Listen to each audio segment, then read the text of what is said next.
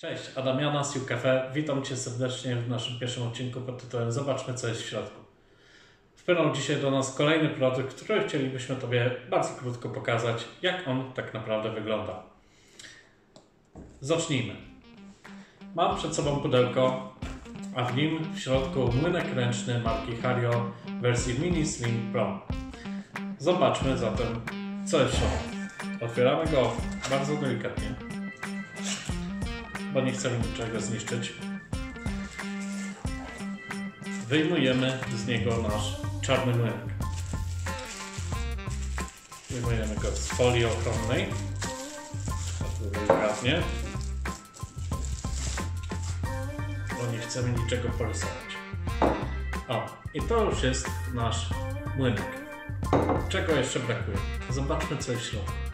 W środku mamy instrukcję, oczywiście, zawsze musi być. Oraz coś, co nazwałbym korbką do mielenia, którą nakładamy na górę. I tak oto wygląda nasz młynek. Zdejmujemy korbkę, zdejmujemy tutaj nakładkę, która jest przeszklona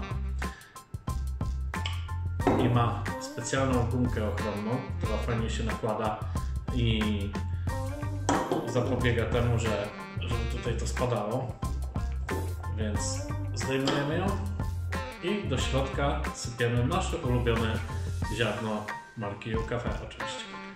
No i dobrze, mamy zatem rozłożony na części pierwsze nasz cały młynek. Mamy górną część, do której wsypujemy ziarna. Mamy dolną część, w której wszystkie ziarna już zmielone wpadają do środka naszą nakładkę, korbkę oraz oczywiście instrukcję. No i co?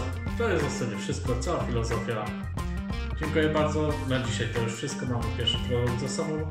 Warto wspomnieć o tym, że produkt marki Hario, młynek ręczny jest również dostępny w kolorze srebrnym na naszym sklepie internetowym.